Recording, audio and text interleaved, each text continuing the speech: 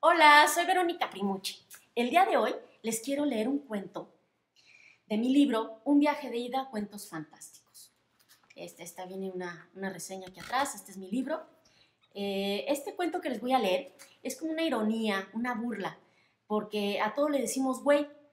Eh, todo, todo. Oh, ¿Qué onda, güey? Hola, güey, adiós, güey. Ay, oye, güey. Todo le decimos güey. Entonces, este cuento habla de eso.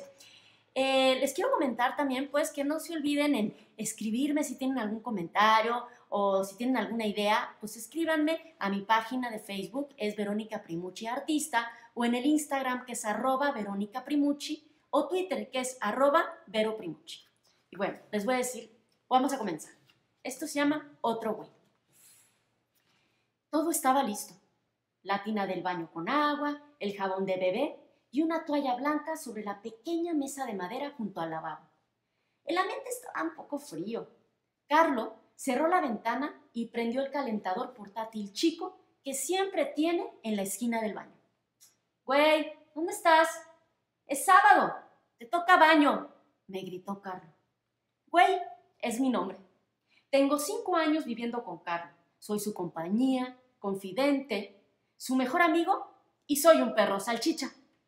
Güey, güey. ¡Ay, aquí estás! ¿Dónde estabas metido? Metido. Estaba lavando el cuello de tu camisa con mi lengua, tratando de quitarle la mancha de un besote que te plantó una vieja, le ladré. ¿Listo? Ven para acá. Se acercó Carlos. Me cargó y me quitó el collar azul marino de tela, en el cual, amarrada a una pequeña argolla, tiene una plaquita con mi nombre y un teléfono grabado.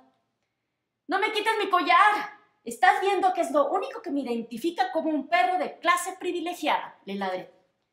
¡Ay, cómo hueles! ¡Apestas, güey! me gritó Carlo.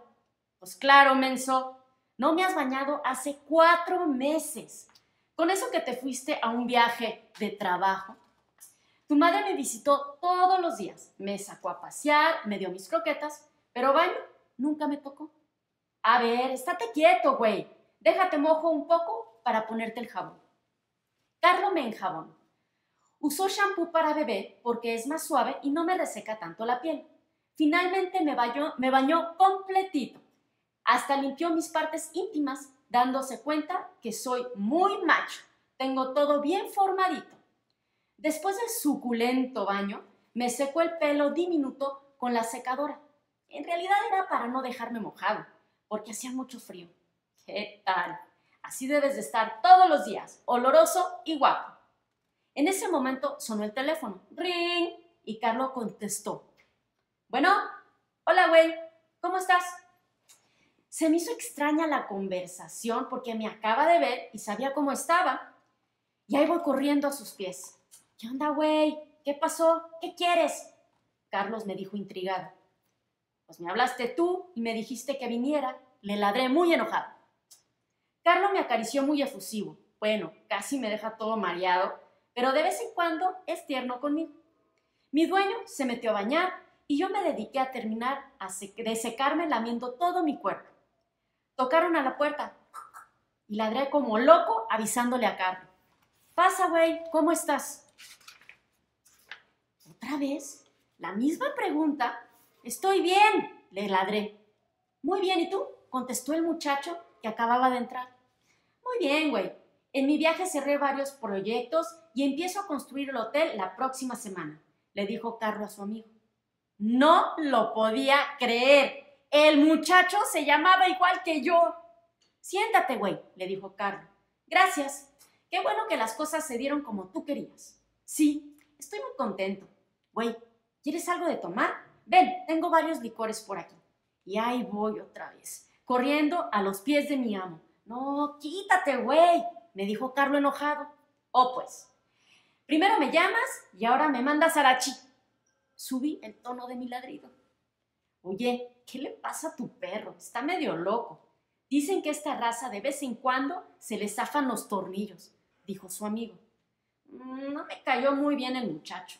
Toda esa tarde me la pasé levantando mis orejas, corriendo de la sala a la cocina, y todo porque su amigo y yo nos llamamos igual. Ay, era desgastante, pero finalmente se fue. Güey, pues ¿qué te pasa? ¿Te la pasaste dándonos lata toda la tarde, me dijo Carlos molesto y preocupado a la vez. ¿Cómo que dando lata? Si me la pasé obedeciéndote todo el pinche día. Que güey ven, que güey siéntate, güey come, güey vamos, güey cállate, güey, güey, güey. Ladré con todas mis fuerzas. Sonó el timbre del departamento. ¡Rick! Ya voy. Deja de ladrar, güey, me dijo mientras me quitaba de su camino con su pie. Hola, pasa. ¿Cómo has estado, güey? ¿Qué? No puede ser. Otro amigo de Carlos que se llama igual que yo, que lo aguante su abuela. Ladré, ladré con todas mis fuerzas hasta que Carlos me encerró en su cuarto y por fin me dejaron en paz. Bueno, este es un cuento que viene en mi libro. Ojalá les haya gustado. Es un viaje de ida, cuentos fantásticos. Y les recuerdo que pues puedan comentar, este, síganme en YouTube. Eh, tengo mi página que es Verónica Primucci Artista, el Instagram que es arroba Verónica Primucci y el Twitter que es arroba Vero Primucci. Bueno, los, los dejo y los espero a la próxima. Adiós.